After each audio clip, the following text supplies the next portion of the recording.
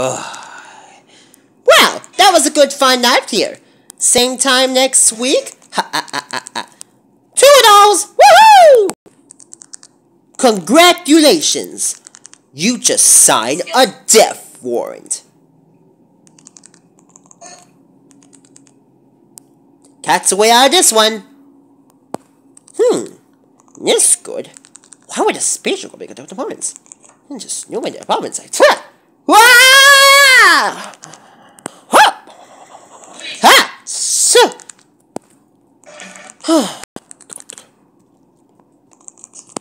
Are you sure we're okay?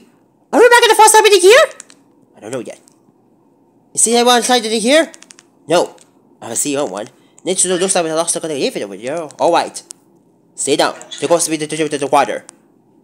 But not too close. What do you say? I think it said too close. No, no, no, no, no, no, no, no, no, no, no! Geronimo! Ah! Huh. Huh. Okay.